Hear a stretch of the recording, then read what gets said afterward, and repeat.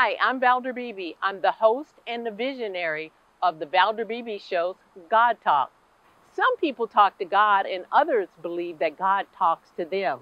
Join us in conversation with authors, religious clergy, metaphysicians, and regular people like you and I, and God Talk.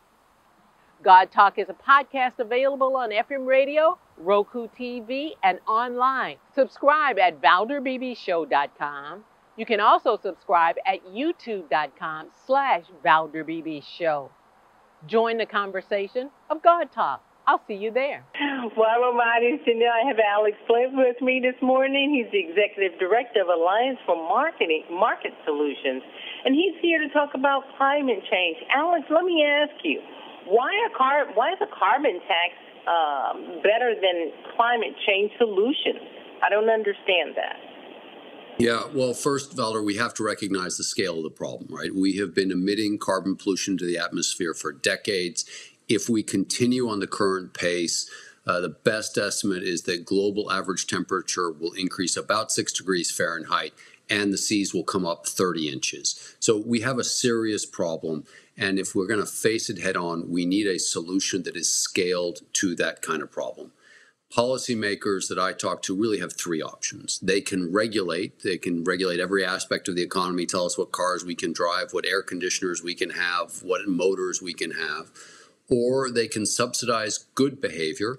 Um, the government's $30 trillion in debt, and I don't think can afford the sorts of subsidies it can take. Or we can do a market solution. And, and to be very straightforward, a market solution says we're going to put a price on carbon pollution. So any activity that emits carbon pollution into the atmosphere, we're going to tax that.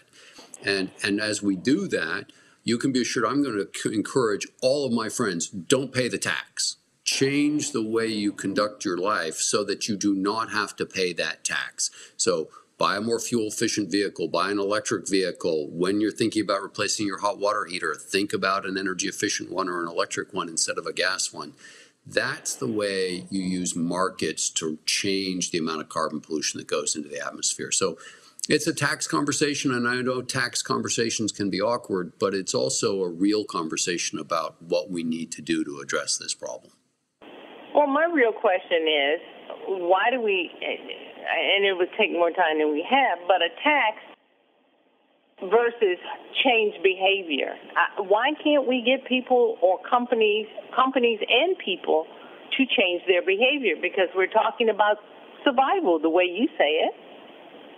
So we are talking about whether our lives and the lives of our kids or grandkids are really impacted negatively by climate change. And we are going to have to change what we do. The question is, what's the incentive for people to change what they're going to do? And what I will tell you is that if we can start taxing the things we don't want, like carbon pollution, and use that revenue to instead reduce other taxes. Like I'm not an advocate of more taxes. I hate taxes.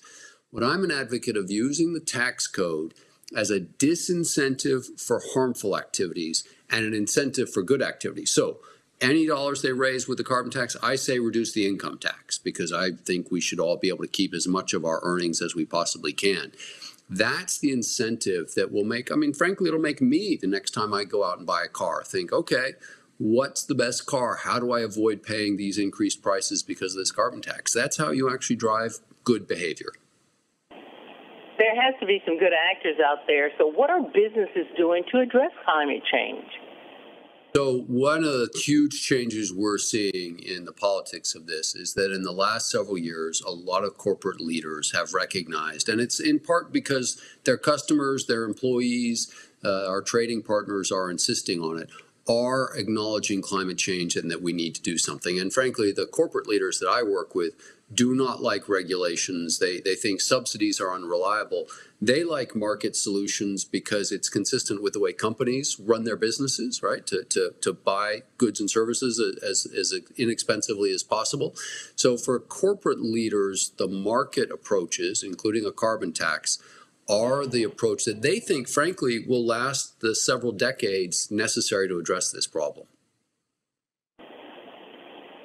My next question, I'm sure there is no answer, but why is it important for Congress to address climate change? They won't address anything, but why is it important for them to address this?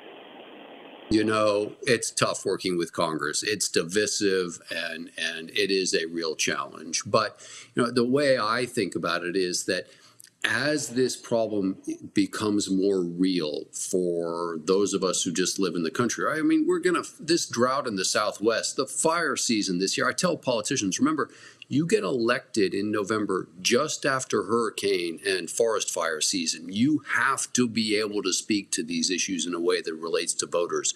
The pressure is continuing to build. Um, particularly for my Republican friends, I say we have to have solutions that talk to these issues in ways that people can say, okay, that's really going to make a difference. This would make a difference. And I, I, I think, you know, I insist on being optimistic in part because I think Americans are leaders, and eventually we're going to figure this out and we're going to do the right thing. All right. So, someone wants to kind of give Congress a push to do the right thing. Is there any place online about the carbon tax?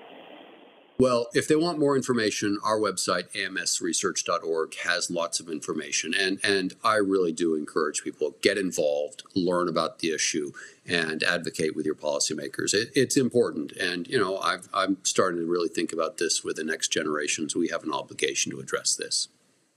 I'm going to close now, Alex, but it's time for Texans to vote. Uh, we're sending people to Congress and voting for an attorney general. A whole lot of voting is going on. Nowhere have I seen anyone talk about climate change, and they're re- either running for uh, an office or trying to be reelected. No one has said a thing. So yeah. maybe I'll well, give them your name. yeah, do and let them know we've done polling and focus groups in Texas, and this is emerging as an issue. And I think it's gonna it's emerging as an issue among the voters who make a real difference in some of these close races. And it does matter. Thank you so much, Alex Flint, for being here on the Valder Beebe Show to talk about the best way to address climate change. I appreciate you. Thank you. Appreciate you. I'm Valder Beebe. I host the Valder Beebe Show, broadcast on radio and television. And this is my phone pouch. My phone pouch is a great invention. It allows me to go hands free, pocket free, purse free, even belt free. Head on over to myphonepouch.com.